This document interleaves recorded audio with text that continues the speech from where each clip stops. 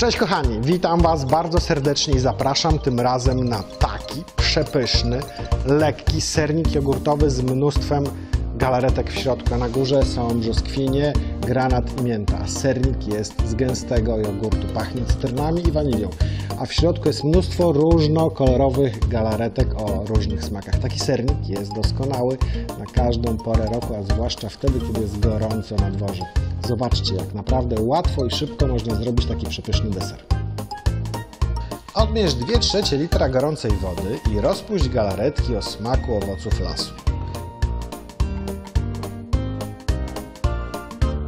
Przelej do małej prostokątnej formy wyłożonej folią spożywczą lub innego dowolnego naczynia.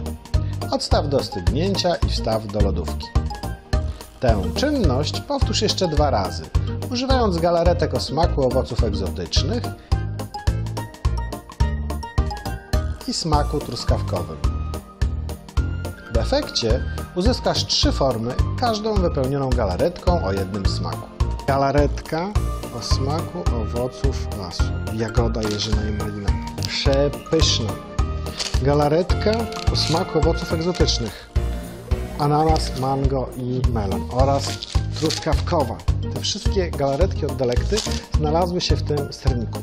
Dlaczego te galaretki? Dlatego, że mają intensywny, owocowy smak. Piękny kolor. Łatwo się je robi i długo zachowują konsystencję. Nie tylko do sernika, ale do wszelkich deserów. Polecam, są naprawdę przepyszne. Stężałe galaretki wyjmij z lodówki, pokrój na kostkę o boku około 2 cm. Przełóż do tortownicy o średnicy 24 cm, tak by smaki były wymieszane ze sobą. W połowie szklanki wrzącej wody rozpuść żelatynę. Odstaw do wystygnięcia. Do jogurtu dodaj przestudzoną żelatynę, łyżkę cukru, cukier o smaku cytrynowym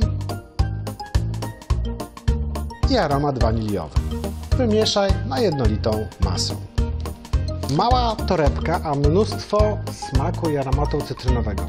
Cukier i suszona skórka cytrynowa. Cukier, smak cytrynowy od Delekty. Bardzo fajna rzecz. Takie jedno małe opakowanie może wystarczyć na 1 kg wypieków.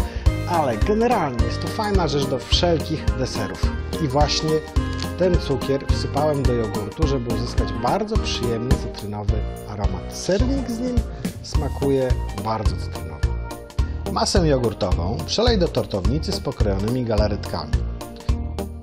Delikatnie wymieszaj i wstaw do lodówki. Najlepiej na całą noc. Brzoskwinie pokrój na kostkę o około 1 cm.